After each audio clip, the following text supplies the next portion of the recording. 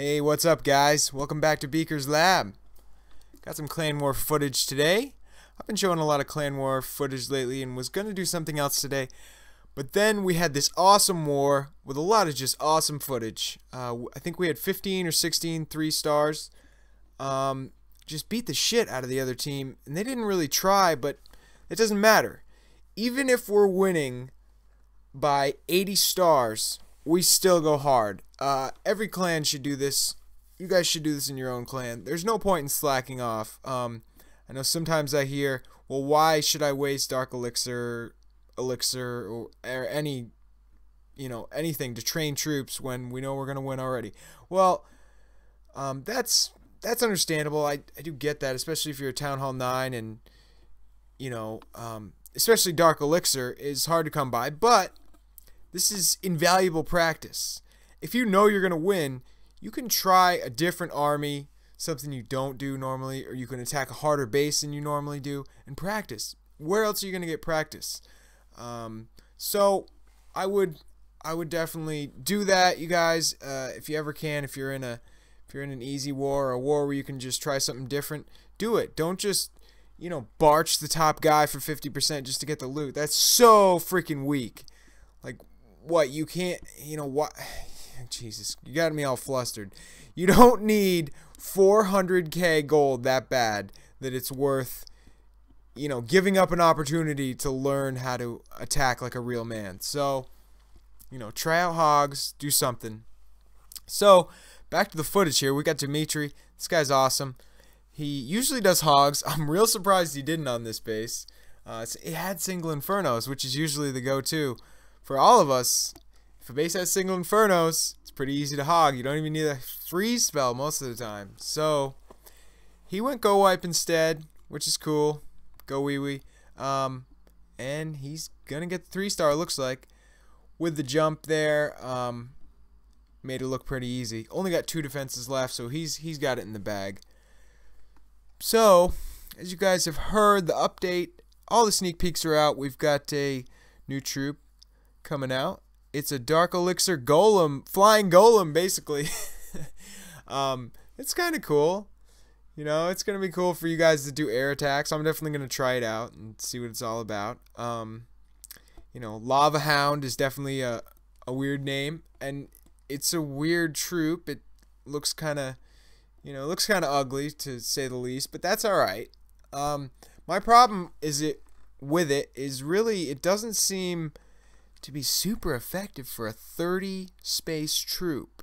Uh, we'll see. You know, I, I've only seen a few clips, but it doesn't seem all that effective. I mean, you know, air defenses are hard hitting defenses. And even if this thing has a ton of health, if it's getting shot by air defenses and every other defense, it's going to go down real fast. But you know, you only need a little time for raging balloons to get into a base, so it is going to help a lot. My other concern is going to be training cost and time. It'll probably be like a golem. It'll probably be like 500 dark elixir and 45 minutes. And that's crazy. That's not going to help the average Joe that's farming. But neither do golems. We all use golems. We just use them only when we need them in clan wars and such. And so, all in all, that doesn't affect us, our population, the farming population, all that much day to day anyway. But we all do push sometimes, some more than others, and if this makes air attacks more viable, that's awesome. I know a lot of people just snipe uh, with air attacks for 50%, intending to get 50%. Maybe now we can get two stars. I'm definitely going to try that on update day and see you know what what's best with it. Maybe uh, I'm thinking a lot of balloons and just not that many minions and uh, a couple of those lava hounds, but we'll see.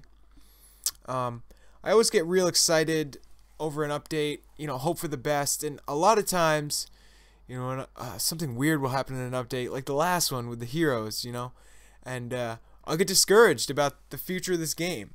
I don't know how long, you know, everyone that uh, watches my videos, I don't know how long you guys have been playing, but I've been playing almost two years, and uh, really all I saw for the first year and a half, everything every update was small, but I, I you know I loved it. Just small additions. That's good. Literally, the game for the first year and a half I played, I didn't even care if there was an update. You know, I love the game, absolutely love it, and uh, it didn't even have to change for me to be happy. A lot of people need change, and that's cool. I do understand it. You want new troops, new, uh, you know, hero levels, defense levels, and that's cool. Um, and eventually, you do need new stuff so you can keep farming. But I, uh, I just get worried now with, uh, you know, the most recent updates, they've been real game changing things, and not always for the best, not always making the game better, but they are trying. Uh, Supercell is trying. They, I believe, they do have some good intentions. Uh, it seems they're trying to, uh, I guess, make the game uh, pay off for, you know, the lower level people. So the hero update that definitely benefited lower level people with low heroes which sucks. I mean, you know, to our group of, you know, hardcore high level farmers, that's bullshit. It's like, you know, why why reward the new guys that have level 1 heroes and and take our stats away? But it happened and you know, we've gotten used to it. Um, I don't know if that's going to continue to be a business model if, you know, I, I wouldn't say they're ignoring us and only focusing on low levels yet, but uh, that could be a case at some point. But really, I think uh, we'll always get more high level, uh, you know, updates that you know do apply to us. All in all, I think the future of the game is uh, it's up in the air. I think something very very small and very quick could send this on a downward spiral. A lot of people think the game is on a downward spiral already a lot of people did quit after the hero update.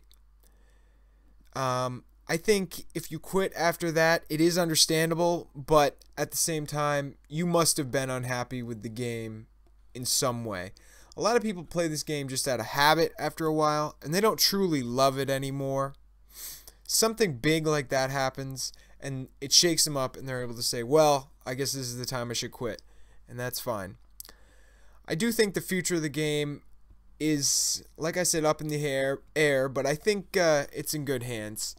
I think Supercell knows that there has to be, you know, a, a uh, high cup base of players. There has to be, you know, guys that have been playing a long time, like us hardcore farmers, and you know they are going to listen to us. the The population on the Supercell forums, which if you guys aren't there, you definitely should, and speak your mind that population there does have an influence. You know, we, we go on there sometimes and complain about things, and and things do happen. You know, things change sometimes. So, all right, that's it for my rant for right now. Um, so we got a we got a one gem boost for 24 hours. Enjoy that, guys. Get out there and grind some loot. That's it for this video. I'm going to uh, throw a few more clips into a part two shortly. Alright, thanks for watching, guys. See you next time.